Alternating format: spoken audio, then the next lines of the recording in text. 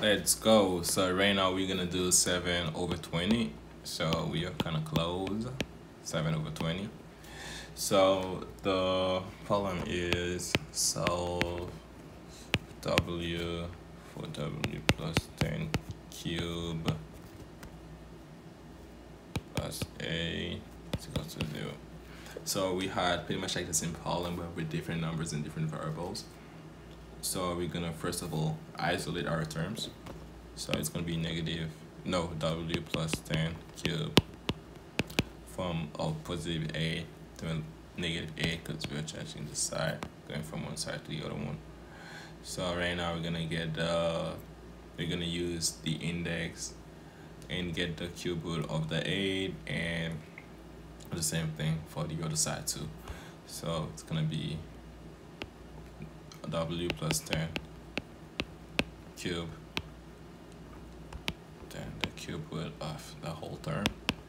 And negative 8 you get the cube root of the same thing to negative 8 so right now if you follow the previous video so we already know that the 2 and the 2 will be cancelled out so we'll have w plus 10 and we're gonna find a number multiplying by itself three times. I'll give you negative 8 I'm pretty sure it's negative 2 negative 2 two terms yeah it's going to be equal to negative 8 so it's going to be our number is negative 2 so we're going to solve our equation. Simple equation w is equal to negative 2 negative 10 which should be equal to negative 12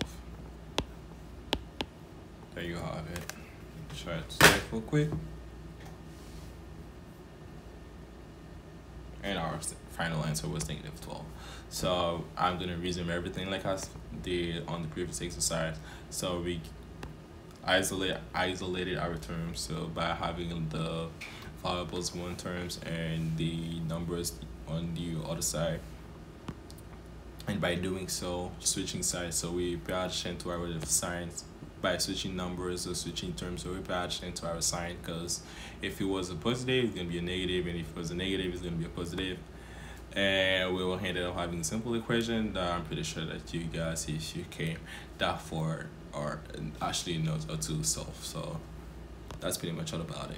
So that was the last question on solving stuff with the cube root or using the cube root solving stuff. So hopefully that you guys got it by this point and if you guys didn't so i'm just gonna like keep doing videos about it so that you guys get it at some point. So let's get into question a